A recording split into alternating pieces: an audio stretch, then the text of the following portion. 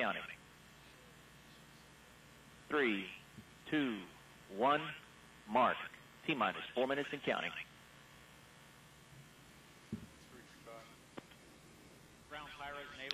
This is Atlas Mission Control at T minus 3 minutes, 49 seconds, and counting.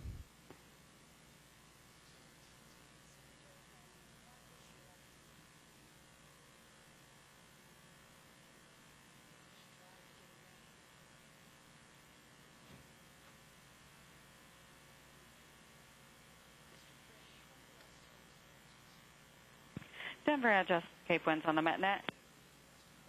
Go ahead, Cape Winds. This is Denver address.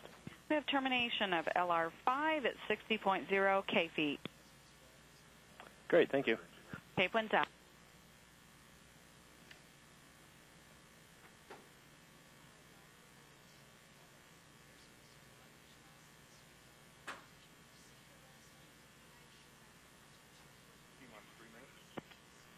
During Atlas L2.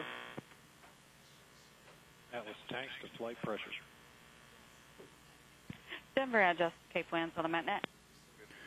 This is Atlas Mission Control, T minus 2 minutes, 46 seconds, and counting.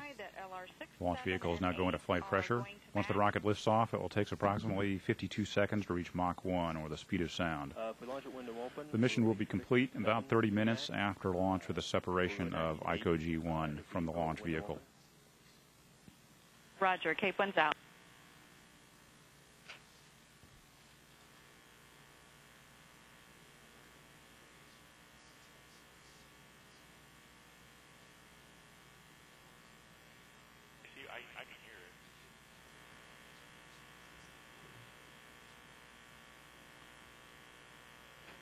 This is Atlas Mission Control, 2 minutes, 4 seconds, and counting, and we're continuing to progress as planned. All systems go for liftoff as scheduled, 4.12 p.m. Eastern. Launch sequencer start.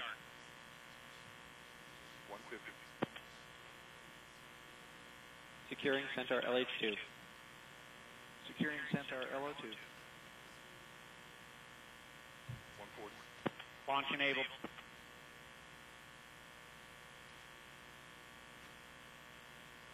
FPS on.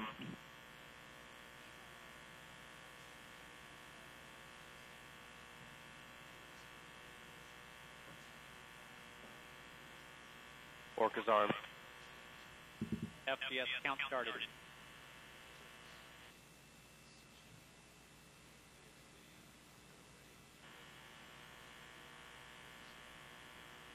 Inbound block.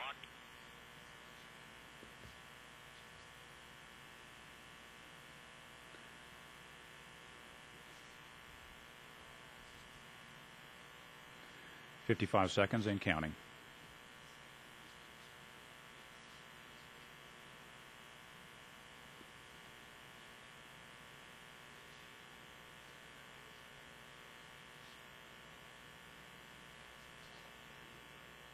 Stable at step three.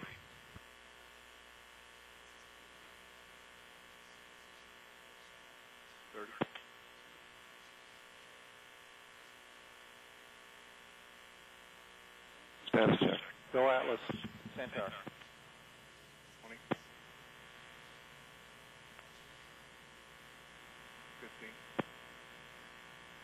This is Atlas Mission Control at T minus 10, 9, 8, 7, 6, 5, 4, 3. Atlas engine ignition. We have ignition. 1, 0, And liftoff of the United Launch Alliance Atlas V rocket carrying ICO G1 for ICO Global Communications and Lockheed Martin Commercial Launch Services. The G1 satellite will enable the new ICO nationwide mobile interactive media service, providing live mobile television, a new level, level of interactive consumer navigation, and enhanced roadside assistance capabilities.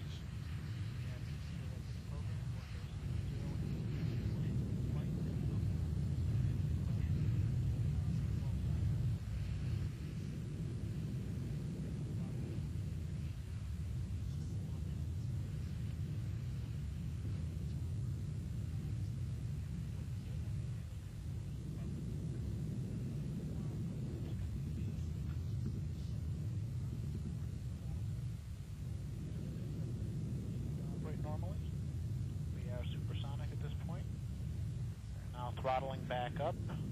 Atlas PU has gone to closed loop control. Everything is looking good.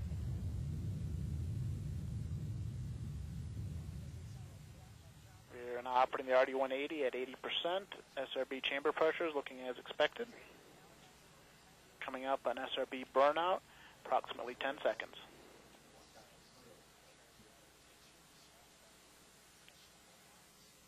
Everything continuing to operate normally. RD-180, and we have burnout on the SRBs. We are throttling up the RD-180 back to 100% thrust, and we are seeing the effects in the PU system. Engine operating parameters look good for this portion of flight. Next mark event we are looking for is SRB jettison, in approximately 30 seconds. Engine continues to operate normally. Acceleration levels right as expected, passing through 2Gs. And we are seeing PU operate as expected, continuing to operate the RD-180 at 100% thrust. Coming up on SRB jettison. We have SRB jettison. Both brake wires show a good jettison of the SRBs. RD-180 continues to operate normally.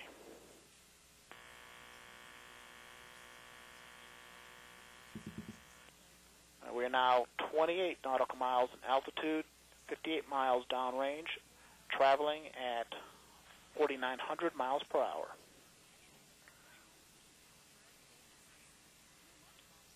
And we have fired the pyro valves, react, activating the reaction control system. Everything looks good there. The RD-180 uh, has throttled down to its 95% level as per the engine scheduler. Pressurization signature on RCS looks good. Acceleration continues to be smooth and as expected. Next throttle segment we are looking for is our constant 4.6G limiting phase. Expect to hit that in approximately 25 seconds.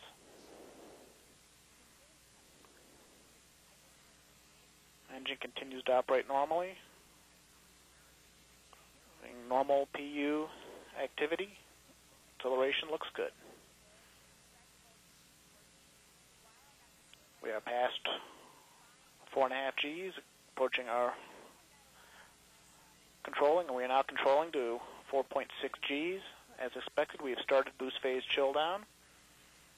Everything looks good there. Approaching our BECO time in approximately 20 seconds. Engine's throttling down to maintain 4.6 Gs.